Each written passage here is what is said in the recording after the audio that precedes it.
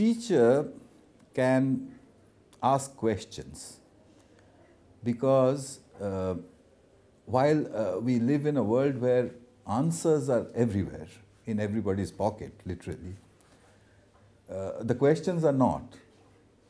So, I think the teacher's job is to ask the right question and observe how the learner arrives at an answer.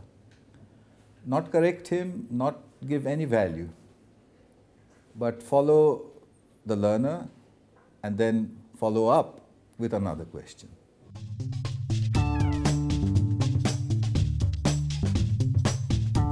In every education system, we have a curriculum. And I think one of the problems is that the curriculum tells you what is it that you have to study, but it doesn't tell you why you have to study it. If you asked, if a teacher were to look at a curriculum and say, okay, I have to teach this, but why? You will always find that the answer will be a big question somewhere. You say, I have to teach this so that the learner can answer that big question. I think the teacher's job is to convert the curriculum into its end product, the big questions, and inform the learner that these are the questions that we are going to answer. But in order to answer this big, interesting question, we need to know these things. Then the curriculum makes sense. So, for a teacher to construct the question, you need to go ahead from the subject to the reason why that subject exists. Um, it, it's, not, it's not very easy, but I think with a little practice, you can get to it.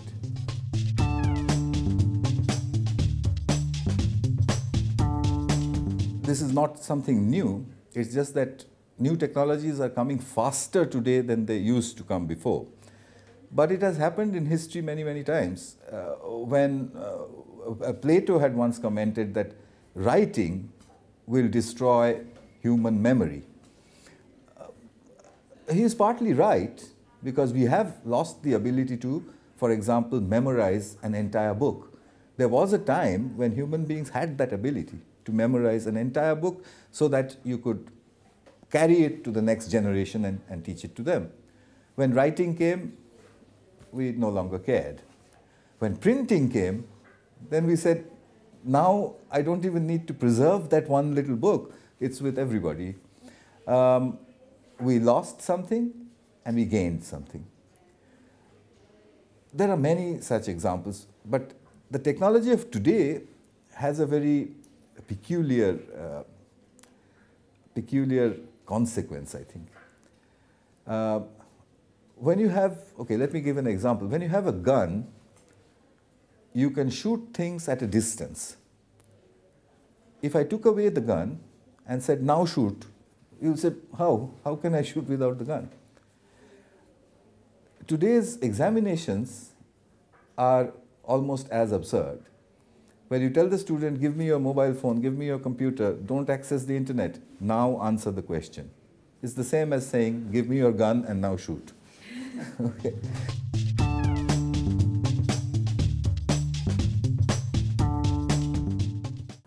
Well, um, I use two different kinds of assessment.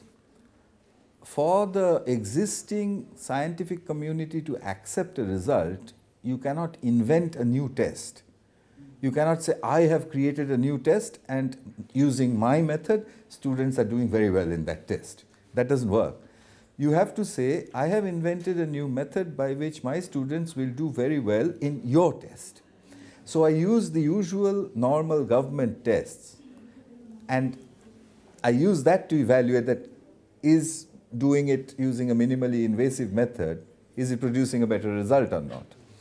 Uh, so that's how I measure it. But at the same time, I believe that our methods of measurement need to be changed now uh, to something completely different, but then that's another story.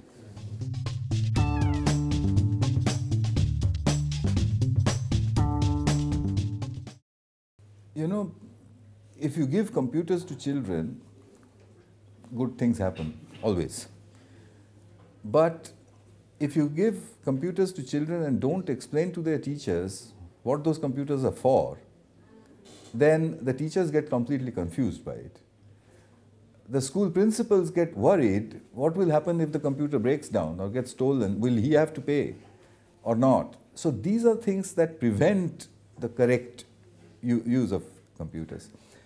What I saw in Uruguay was very clear. The children are reading better than almost anywhere else that I've seen. Um, at their level, at that 9, 10 year old level, they're reading better. And it's obvious why, because they're constantly reading from the screen, so their reading has improved. I measured it and I've sent it for publication. But it has taken, it's not yet published, it's been nine months still struggling with the fact that how can reading comprehension improve by itself? But my numbers are saying that they have. So uh, I think in the rest of the world there is still a problem in actually understanding that learning in that generation of, of 8 to 12 year olds is happening by itself. We don't have to do anything about it, it will just carry on.